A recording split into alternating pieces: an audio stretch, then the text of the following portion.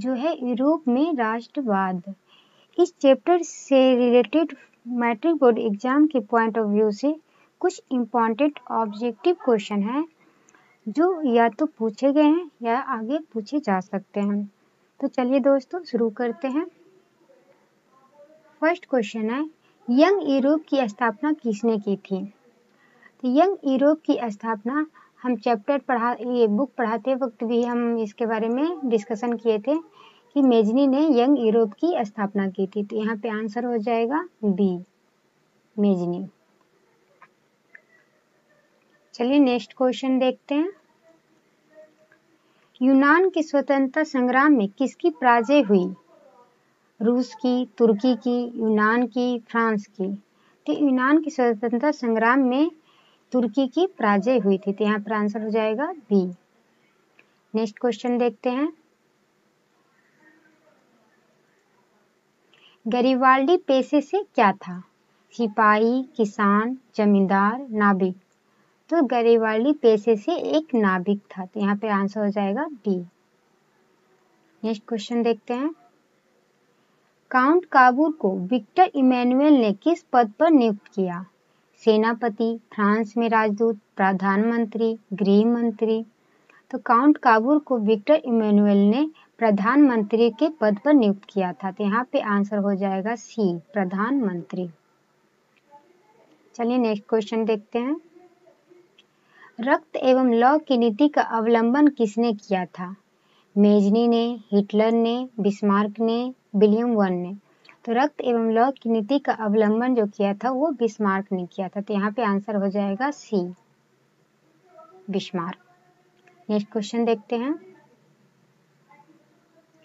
बीना कांग्रेस के द्वारा फ्रांस में किस शासक वंश की पुनर्स्थापना की गई थी?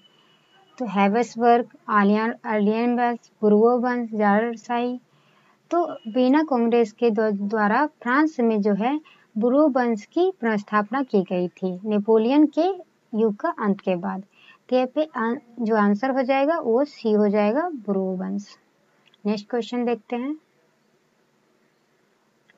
जर्मन राइन राज्य का निर्माण किसने किया था? तो Louis अठारहवा Napoleon Bonaparte, Napoleon third Bismarck. German Rhine राज का जो निर्माण किया था, वो नेपोलियन बोनापार्ट ने किया था। तो यहाँ पे आंसर जो हो जाएगा बी, नेपोलियन बोनापार्ट। चलिए नेक्स्ट क्वेश्चन देखते हैं। मरिया, किस देश के राष्ट्रवाद की प्रतीक थी? फ्रांस की, रूस की, इटली की, जर्मनी की। तो हमारे यहाँ जो है, वो फ्रांस की राष्ट्रवाद की प्रतीक थे। तो यहाँ पे जो आंसर हो जाएगा, वो ए हो जाएगा, फ्रांस। नेक्स्ट क्वेश्चन देखते हैं। 1830 की क्रांति के बाद फ्रांस में किस प्रकार का शासन स्थापित हुआ? निरंकुश राजतंत्र, संघीय शासन व्यवस्था गणराज संवैधानिक राजतंत्र। तो अठारह सौ तीस की क्रांति के बाद जो है फ्रांस में निरंकुश राजतंत्र का शासन स्थापित हुआ। तो यहाँ पे जो आंसर हो जाएगा, ए हो जाएगा निरंकुश राजतंत्र। चलिए नेक्स्ट क्वेश्चन देखते हैं। एक्ट ऑफ़ यूनियन किस वर्ष पारित हुआ? 1688 में 1707 में 1788 में 1807 में। तो एक्ट ऑफ़ यूनियन जो पारित हुआ था, वो 1688 ईस्वी में हुआ था। तो यहाँ पे आंसर जो हो जाएगा ए 1688 ईस्वी में। चलिए नेक्स्ट क्वेश्चन देखते हैं। सिडोआ के युद्ध में किसकी पराजय हुई? प्रासा की, शार्निया की, ऑस्ट्रिया की, नेपल्स की। तो सेडेवा युद्ध जो हुआ था, वो ऑस्ट्रिया और प्रशा के बीच हुआ था, जो जिसमें ऑस्ट्रिया की हार हुई थी। यहाँ पे जो आंसर हो जाएगा, वो सी हो जाएगा। चलिए नेक्स्ट क्वेश्चन देखते हैं। किस युद्ध के बाद जर्मनी का एकीकरण पूरा हुआ? क्रीमिया का युद्ध शेडोवा का युद्ध, प्रसा डेनमार्क युद्ध या शेडोन का युद्ध? तो जो ये जर्मनी का एकीकरण हुआ था वो शेडोन का युद्ध के फलस्वरूप हुआ था। तो यहाँ पे आंसर जो हो जाएगा वो डी हो जाएगा, शेडोन का युद्ध। चलिए नेक्स्ट क्वेश्चन देखते हैं। नेपोलियन ने जर्मनी में किस संघ की स्थापना की? ट्रांसपेडेंट संघ सिसेपलाइन संघ, राइन संघ, इनमें किसी की नहीं। तो नेपोलियन ने जो है जर्मनी में एक राइन संघ की स्थापना की थी। तो यहाँ पे जो आंसर हो जाएगा वो सी हो जाएगा, राइन संघ। चलिए नेक्स्ट क्वेश्चन देखते हैं। जलवेरिन की स्थापना किस राज्य ने की? प्रसा ने, ऑस्ट्रिया ने, शार्निया ने, फ्रांस ने। तो जलवेरिन की स्थापना जो की थी, वो प्रसा ने की थी। तो यहाँ पे जो आंसर हो जाएगा, वो हो जाएगा ए प्रसा चलिए नेक्स्ट क्वेश्चन देखते हैं। हंगरी की भाषा क्या थी? इतालवी, मैग्यार पोलिस फ्रेंच। तो हंगरी की जो भाषा है, थी वो मैग्यार थी। तो यहाँ पे जो आंसर हो जाएगा वो बी हो जाएगा मैग्यार चलिए नेक्स्ट क्वेश्चन देखते हैं। जर्मन राइन राज्य का निर्माण किसने किया था? Louis अठारवा Napoleon Bonaparte Napoleon third Bismarck तो जर्मन राइन राज्य का जो निर्माण किया था, वो नेपोलियन बोनापार्ट ने किया था। तो यहाँ पे जो आंसर हो जाएगा, वो बी हो जाएगा नेपोलियन बोनापार्ट चलिए नेक्स्ट क्वेश्चन देखते हैं। यूरोप में राष्ट्रवाद की पहली स्पष्ट अभिव्यक्ति कब हुई? सत्रह की फ्रांसीसी क्रांति के साथ 1830 की फ्रांसीसी क्रांति के साथ 1848 की फ्रांसीसी क्रांति के साथ, या इनमें से कोई नहीं? तो यूरोप में जो राष्ट्रवाद की पहली स्पष्ट अभिव्यक्ति हुई थी, वो सत्रह की फ्रांसीसी क्रांति के साथ हुई थी। तो यहाँ पे जो आंसर हो जाएगा, वो ए हो जाएगा। चलिए नेक्स्ट क्वेश्चन देखते हैं। यूरोप का मरीज़ किसे कहा जाता है? प्रसा को, ऑस्ट्रिया को, तुर्की को, ब्रिटेन को? तो यूरोप का जो मरीज़ कहा जाता है, वो तुर्की को कहा जाता है। तो यहाँ पे जो आंसर हो जाएगा, वो सी, तुर्की को। चलिए नेक्स्ट क्वेश्चन देखते हैं। मेटर्नी का पतन किस वर्ष हुआ? मार्च 1848 ईस्वी में, अप्रैल 1848 ईस्वी में, मई 1848 ईस्वी में जून 1848 ईस्वी में। तो मेटर्नी का जो पतन हुआ था, वो मई 1848 ईस्वी की क्रांति के फलस्वरूप हुआ था। तो यहाँ पे जो आंसर हो जाएगा, वो मई 1848 ईस्वी में। नेक्स्ट क्वेश्चन देखते हैं। फ्रांस में किस शासक वंश की पुनर्स्थापना बीना कांग्रेस द्वारा की गई थी? आर्लियन वंश बुर्वो वंश, हैवसवर्ग या जारशाही? फ्रांस में जो है, ये पुनर्स्थापना बिना कांग्रेस के द्वारा जो किया गया था, वो बुर्वो वंश के द्वारा किया बुर्वो वंश का किया गया था। तो यहाँ पे जो आंसर हो जाएगा, वो बी हो जाएगा बुर्वो वंश। चलिए नेक्स्ट क्वेश्चन देखते हैं। इटली एवं जर्मनी के एकीकरण के विरुद्ध निम्नलिखित में से कौन सा देश था? प्रसा, ऑस्ट्रिया, इंग्लैंड तो इटली एवं जर्मनी के एकीकरण के विरुद्ध जो था, वो ऑस्ट्रिया था। तो यहाँ पे जो आंसर हो जाएगा, सी हो जाएगा ऑस्ट्रिया। नेक्स्ट क्वेश्चन देखते हैं। मेजनी का संबंध किस संगठन से था? लाल सेना, चेका, लाल कुर्ती, कार्बोनारी। तो मेजनी का जो संबंध था, वो कार्बोनारी संगठन से था। तो यहाँ पे जो आंसर हो जाएगा, वो हो जाएगा डी, कार्बोनरी। चलिए नेक्स्ट क्वेश्चन देखते हैं। जालवेरिन एक संस्था थी। व्यापारियों की, क्रांतिकारियों की, बुद्धिजीवियों की या सामंतों की। तो जालवेरिन जो एक थी, वो व्यापारियों की एक संस्था थी। तो यहाँ पे जो आंसर हो जाएगा, वो हो जाएगा ए व्यापारियों की। चलिए नेक्स्ट क्वेश्चन देखते हैं। 1829 की एडियानोपल की संधि किस देश के साथ हुई? हंगरी, तुर्की, यूनान, पोलैंड। तो 1829 की एडियानोपल की जो संधि हुई थी, वो तुर्की और यूनान के बीच हुआ था। तो यहाँ पे आंसर जो हो जाएगा, वो बी हो जाएगा, तुर्की। नेक्स्ट क्वेश्चन है। काउंट काबूर को विक्टर इमोली ने किस पद पर नियुक्त किया था? गृह मंत्री सेनापति, फ्रांस का राजदूत, प्रधानमंत्री। तो काउंट काबूर को विक्टर इमोलियन ने प्रधानमंत्री के पद पर नियुक्त किया था। तो यहाँ पे जो आंसर हो जाएगा, वो हो जाएगा डी, प्रधानमंत्री। चलिए नेक्स्ट क्वेश्चन देखते हैं। गरीवाल्डी पेशे से क्या था? नाविक था, किसान था, सैनिक था, दार्शनिक था। तो गरीवाल्डी जो पेशे से एक नाविक था। तो यहाँ पे जो आंसर हो जाएगा, वो हो जाएगा ए, नाविक। चलिए नेक्स्ट क्वेश्चन देखते हैं। इटली एवं जर्मनी वर्तमान में किस महादेश के अंतर्गत है? दक्षिणी अमेरिका, यूरोप, उत्तरी अमेरिका, पश्चिमी एशिया। तो इटली एवं जो जर्मनी है, वो वर्तमान में यूरोप महादेश के अंतर्गत आते हैं। तो आंसर हो जाएगा बी, यूरोप।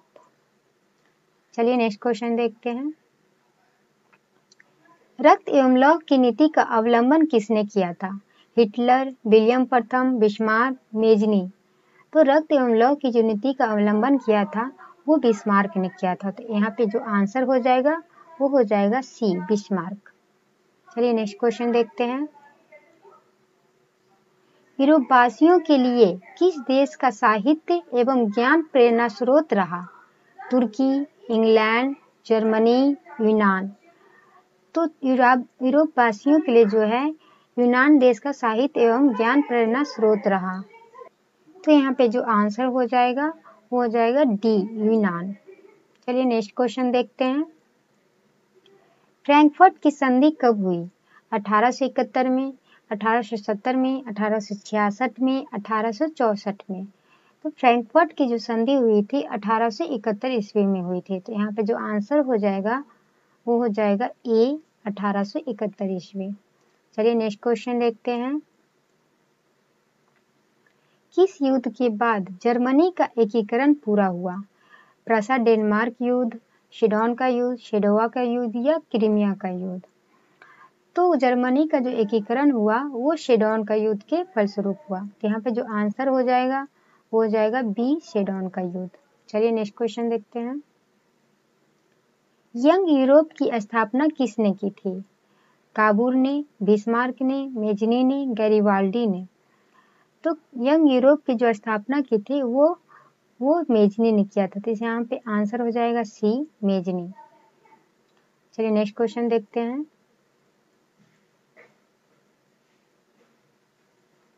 यंग इटली की स्थापना किसने की? गरीवाल्डी ने, मेजनी ने, बिस्मार्क ने या काबूर ने?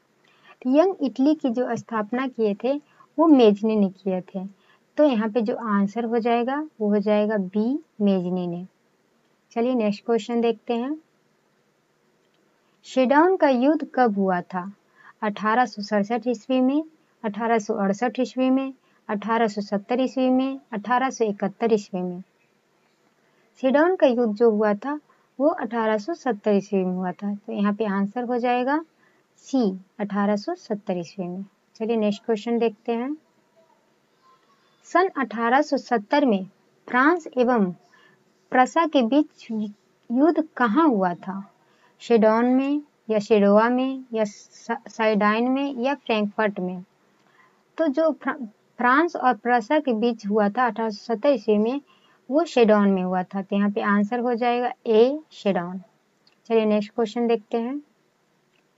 वीना सम्मेलन किस वर्ष हुआ? 1815 ईस्वी में 1820 में 1825 में या 1830 में?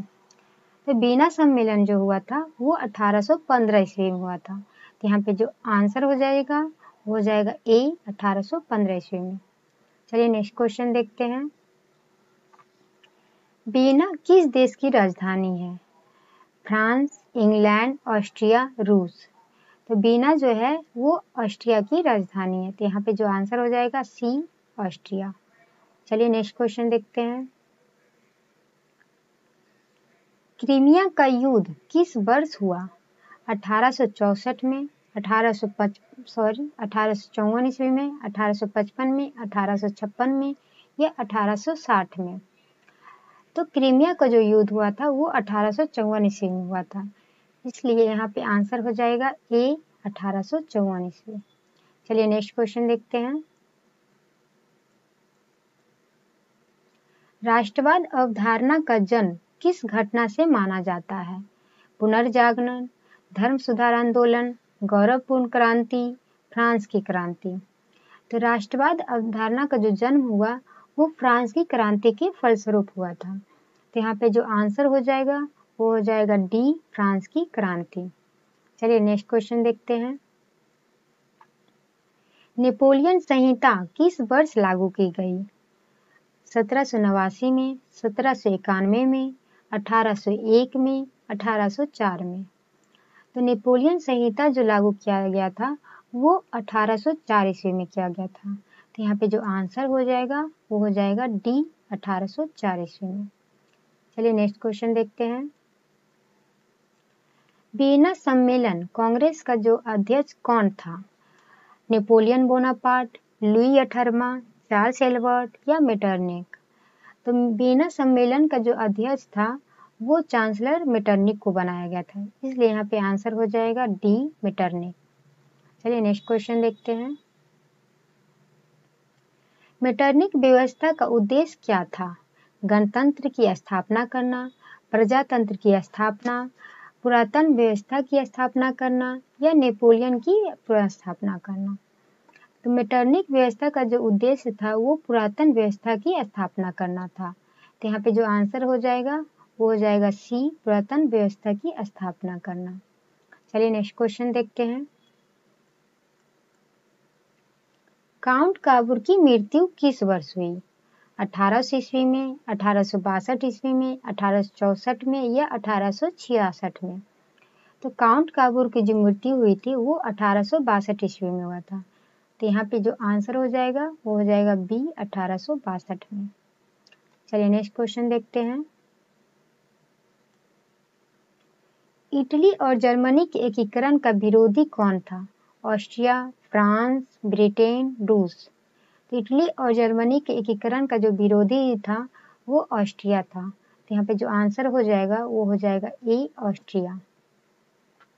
चलिए नेक्स्ट क्वेश्चन देखते हैं। जर्मनी का एकीकरण किस वर्ष पूर्ण हुआ? अठारह में अठारह में अठारह में या अठारह में? तो जर्मनी का जो एकीकरण हुआ था, वो अठारह सौ इकहत्तर ईस्वी में हुआ था। तो यहाँ पे जो आंसर हो जाएगा, वो हो जाएगा डी, अठारह ईस्वी में। चलिए नेक्स्ट क्वेश्चन देखते हैं।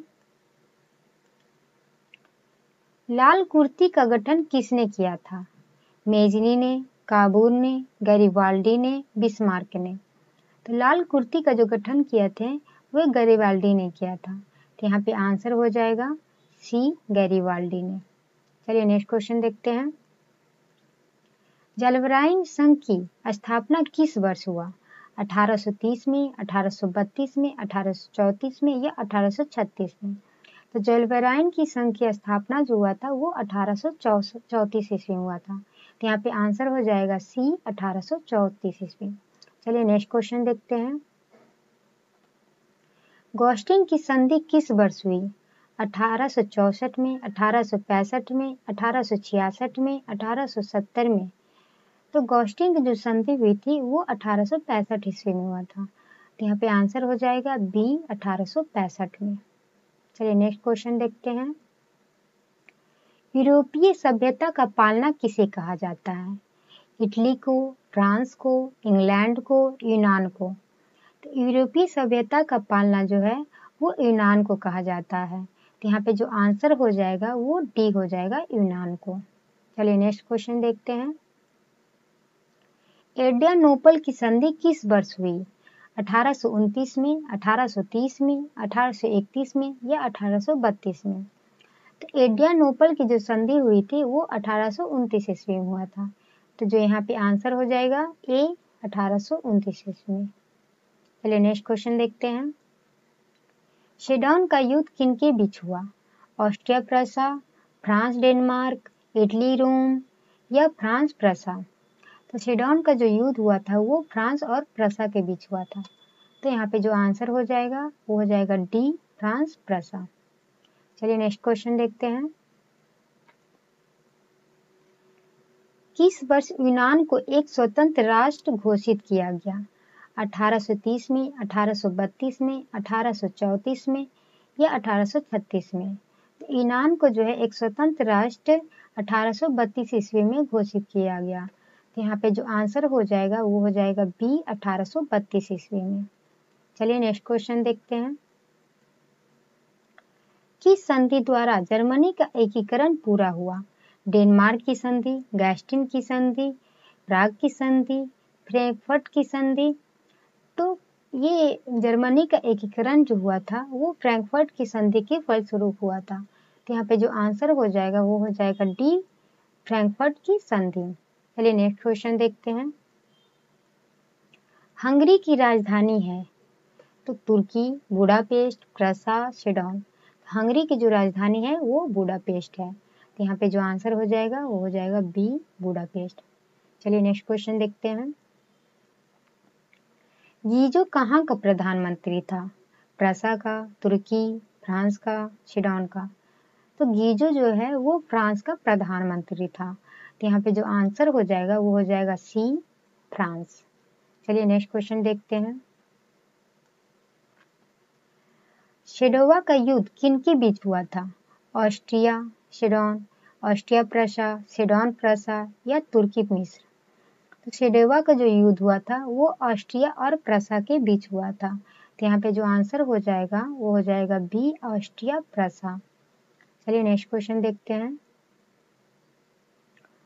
ओटो को निम्न में से कहाँ का राजा घोषित किया गया? रूस का, यूनान का, फ्रांस का, जर्मनी का? तो ऑटो को जो है, वो यूनान का राजा घोषित किया गया था। तो यहाँ पे जो आंसर हो जाएगा, वो हो जाएगा बी, यूनान। तो ये सभी इंपॉर्टेंट ऑब्जेक्टिव क्वेश्चन थे। इसे आप ज़रूर से दो से तीन बार पढ़ ले ताकि देखते देखते याद हो जाए और रट्टा लगाने का ज़रूरत नहीं पड़े। तो चलिए दोस्तों, मिलते हैं नेक्स्ट वीडियो के साथ। Thank you